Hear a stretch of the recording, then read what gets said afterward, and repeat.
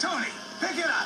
I want this whole row finished. You know, I'm just not feeling the woodcutting thing today. Uh, I don't know.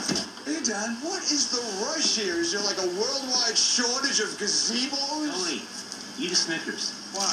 Because you eat a little bit whiny when you're hungry. Better? Better. Hey, my back hurts. Now my friend hurts. You're not you when you're hungry. Snickers satisfies.